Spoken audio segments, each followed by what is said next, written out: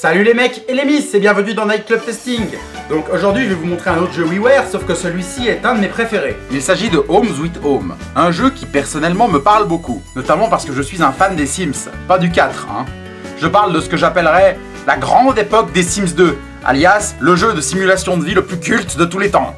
Mais si je fais le rapprochement avec ce jeu, c'est surtout parce qu'il ressemble aux Sims permis de sortir sur Game Boy Advance même si ce jeu n'est pas une simulation de vie. Mais bon, pas de précipitation, vous allez en bouffer du Sims 1 de C4, donc comme on dit dans mon bled, y a pas le feu au lac.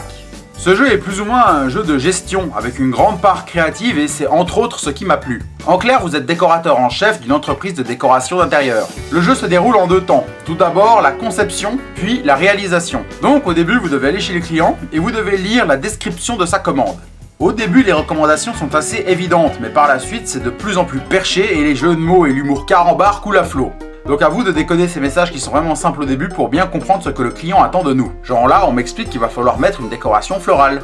Ou encore là, où on me dit qu'il va falloir mettre des choses en rapport avec la basse-cour. Ou là, où il va falloir mettre une bibli et une cheminée.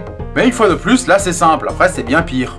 Le jeu est quand même super long, mais environ 15 heures à le finir. J'allais quand même pas le refaire en entier juste pour vous le prouver. Tous les concepts ont une limite budgétaire. Il va falloir donc s'y tenir et mettre cher là où ça en vaut la peine et économiser sur les trucs qui n'en valent moins.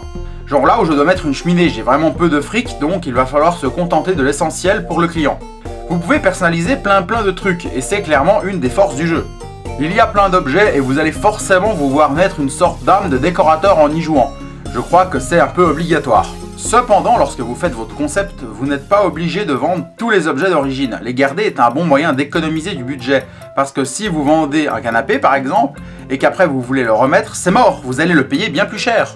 Sinon, il y a encore un indice de satisfaction du client par rapport à votre projet. Il faut dépasser au minimum le pointillé, mais pas obligé d'aller à fond, même si c'est quand même préférable. Bon, la seconde partie consiste à réaliser le projet. Vous avez un temps limité pour ça, donc il va falloir se bouger le cul. Même si je n'ai presque jamais eu de problème avec le temps, c'est quand même assez large. Donc il suffit de prendre un ouvrier et de le mettre sur l'objet que vous voulez qu'il installe. Certains ouvriers ont parfois une prédisposition à installer certains objets, je vous jure que cela fait toute la différence. Lorsque vous avez l'opportunité de mettre un perso sur un bon objet, il faut le faire. C'est un grand gain de temps. Parfois, ils auront besoin de votre aide. Dans ce cas, cliquez avec B sur le perso en question et donnez-lui un coup de main avec une sorte de QTE. Si vous ne le faites pas, il arrêtera de travailler. Lorsque vous avez rien à faire, vous pouvez aider l'ouvrier que vous avez envie pour le faire gagner du temps. Sinon, faites attention à l'indice de fatigue des ouvriers. S'ils sont trop fatigués, ils bossent plus lentement. Sans compter que ça augmente grandement leur chance de se blesser.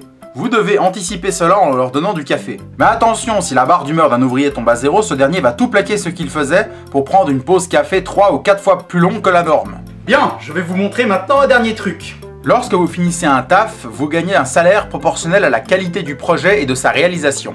Avec cet argent, vous pouvez personnaliser votre propre maison. Le seul problème, c'est que dans le jeu, il y a des objets qui se débloquent au fur et à mesure. Ça fait qu'au début, vous ferez forcément une baraque un peu pourrie et pour finir, vous aurez un truc de luxe. Regardez ma vieille partie qui date d'il y a au moins 6 ans. Notez que vous ne pouvez rejouer aucune mission puisque l'on y est. Mais bon, voilà ma baraque.